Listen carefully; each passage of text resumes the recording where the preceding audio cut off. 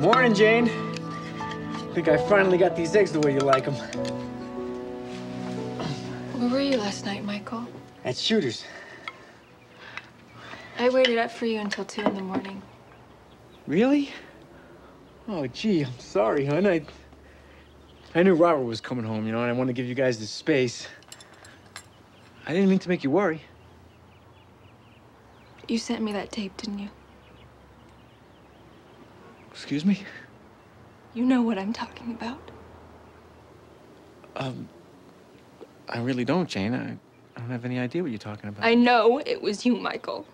I know you had something to do with this. Hey. Hey. Hey, come on now. Tell me.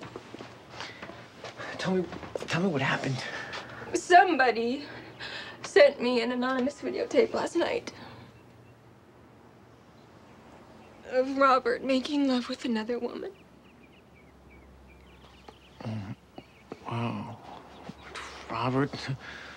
Prince Charming? I don't believe it. I couldn't either.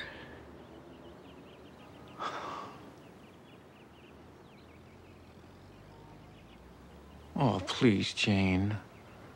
Now, you've accused me of a lot of crazy things before, and I'll admit I was even guilty of a few.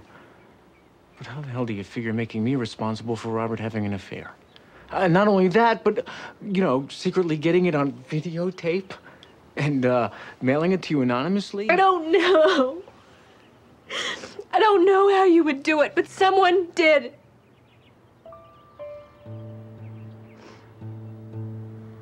Yeah. Somebody who was trying to nail Robert.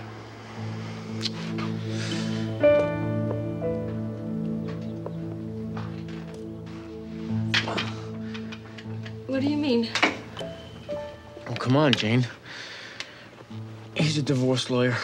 A damn good one, I should know. There must be plenty of disgruntled husbands and wives out there who, well, let's say, aren't very happy with him.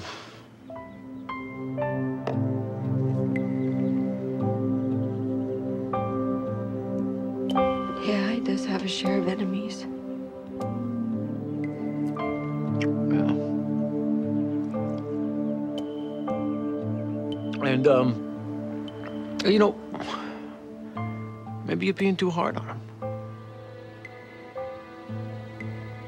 I mean, all it proves is that anyone can slip.